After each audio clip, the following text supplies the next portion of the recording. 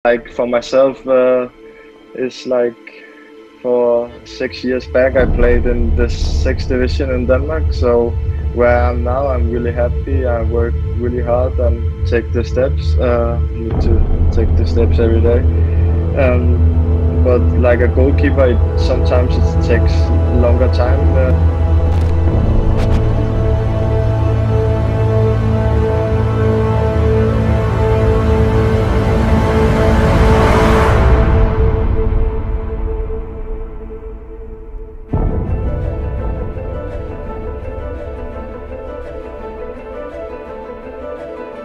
We've been joined today by uh, Trinidad and Tobago Danish-born goalkeeper Nicklas Frenderup, who is now based in Norway, playing in the first division with Blink, and has been doing pretty well. Uh, from all accounts, uh, he's played uh, uh, close to 20 games already for the season, and he's the first choice goalkeeper for his team, and has been highly rated on the European circuit.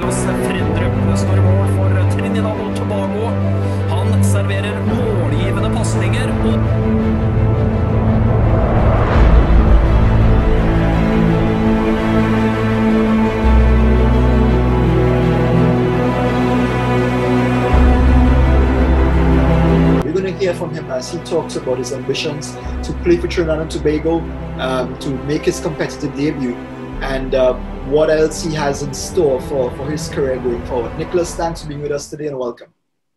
Thank you, Sean. Um, good to see you. Yeah, very good. Um, the last time we would have seen would have been uh, back in 2019 for the international friendly against Ecuador, where you would have made your, your international debut for Trinidad and Tobago. Um, you also played against Anguilla um, but that competitive debut is you're still in search of that. And uh, we know that Trinidad and Tobago has uh, CONCACAF Gold Cup qualifiers and World Cup qualifiers coming up in 2021.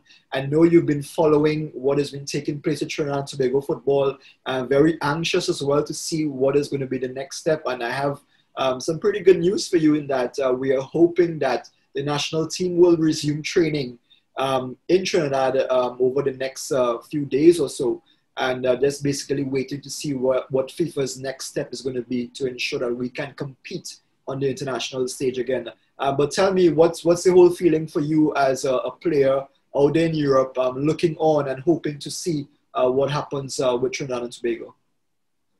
No, of course, uh, it's been a difficult period for for Trinidad, uh, and it's a little bit boring to to watch like the news there, but. Um, it's hard to see uh, they don't can play and, and I, I cannot join the team and I've talked with uh, my teammates over there with Sheldon a couple of times about the situation. So uh, no it's boring uh, like we're not can join uh, at the moment but um, but yeah I think we will hit back uh, stronger when when it's open again yeah to play the games again yeah. Um, what are you hoping to, to do to impress uh, the new head coach, uh, Terry Fenwick?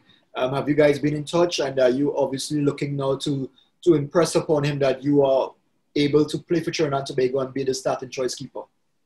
No, of course, I, I want to be the number one. And I think this season I've proved a lot. I'm, I'm the best keeper in my division. So, uh, yeah, yeah, I work every day for be the number one uh, for the national teams uh, as well. But I've talked with uh, Terry one time, and uh, he have he watching my game. So yeah, we will see which keeper he he will ch- choose uh, at the time when when we comes back to to train uh, again. So yeah. Is it safe to say, Nicholas, that if called upon next week or in December or January, once you're selected for Trinidad and Tobago, you will be available and you will come to to join the national team?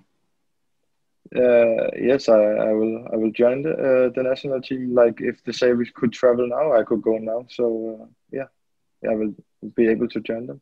What's it been like um, having to motivate yourself? Obviously, um, your ambition is to play at the highest level, uh, to play international football, and uh, you've been seeing what has been taking place with us. But yet, you've been able to push yourself and continue playing, continue training, and having probably one of the best seasons of your career so far. Tell us, take us through that in terms of uh, mental preparation and readiness uh, for, for your football. Uh, of course, uh, it's uh, like for myself, uh, it's like for six years back, I played in the sixth division in Denmark. So where I am now, I'm really happy. I work really hard and take the steps. Need to take the steps every day.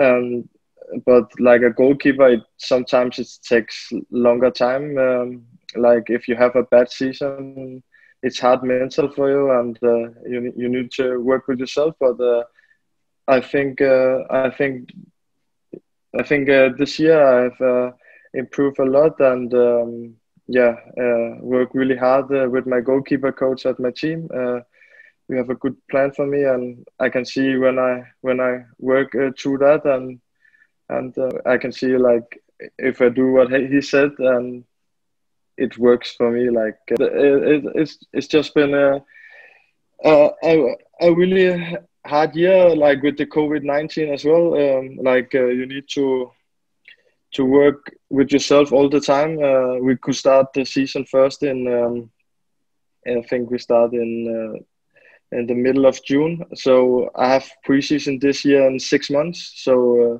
it's been really hard, but now uh, I played really well, and uh, it's it's good to see the hard work pays off now. So uh, I'm really motivated to to to come back to Trinidad, and and I want to again to to be the be the first keeper there. Uh, yeah, like I have good competition at the national team, but like again, I, I want to play at, at the highest level and and this year again I think I've proved my game and showed to to the boys here in Europe and I'm good enough to that. So uh, it, it's gonna be funny in, after the season what happened with me. So I'm looking forward to that.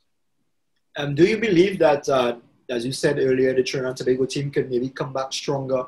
Um, you know the Gold Cup last year was a bit disappointing. Um, we didn't end the year on, on the best note possible but now um, despite everything that is happening off the field of play, um, who knows what can transpire for us in 2021? And uh, you're something that you're looking forward to. Yeah, I, I'm looking forward to it. Uh, again, I think uh, we have a strong team, and now we have a, a, a new coach. Um, I think also Dennis did a, a, a good job, but uh, it was a difficult period. Uh, but uh, but I'm really looking forward to see what Terry can do with, with the team, and and yeah, I see again Shelton, I see Joe and Kevin, uh, Alvin, like a lot of the boys improve at the team. So, and now me as well. So I think we have a, a strong team. So I, I really think we can do uh, some good some good things uh, ne- next year. What would you say is important for for the players and for the, the members of the staff, the team, um, the steps to take to make sure that we come back better, stronger than before? Mm, like you you you need to to do your work you need to work hard and uh, yeah you you need to believe in yourself. Like if you don't do that uh, it's difficult. So uh, you can start there and and then we need to be together like a team. We need to like trust each other like yeah do things together like be more together when we are together with the squad uh, with the national team. So uh, but I think again, um, Terry and the other guys have a good plan for that. So, but yeah, I'm just really looking forward to come back to see uh, what happened uh, next time we we see us uh, all together. Okay, good. Um, Nicholas, and let's finally uh, tell the people of Trinidad and Tobago about you, um, your background, mm-hmm. um, with your mom, uh, where she grew up, and uh, you know how you got involved with Trinidad and Tobago. Yeah, I'm from uh, Denmark. I'm from a small town in Denmark, uh, Køge. Uh, my mom's come to Denmark when she was seven with my grandma. Um, uh, so uh, yeah, we have been living there now for for 40 years. Um, my mom has so uh, so they will see say she's a Danish girl now, but um, but we still have a lot of family in in Trinidad, and my grandpa still live there. So uh, in San Fernando, my mom is from San Fernando, and I have a lot of family there, and also in Port of Spain. Um, yeah, I moved to Norway when I was 22 in the third best league, and uh, now I, I have taken the step up to to the second best and played really well. So um, I'm I'm hoping uh, yeah, I have a good season, so I hope uh, maybe to to get a move uh, up to uh, to a better league league this year. So uh, yeah. All right. Nicholas, it was indeed a pleasure speaking with you and, and getting this update. Uh, we're quite pleased to see that you're progressing very well in, in Norway. Uh, we want to wish you the best, um, good health, good fitness, and hopefully we see you soon in Trinidad and Tobago colors. Take care. Thank you, Sean. Thank you, Sean. Thank you.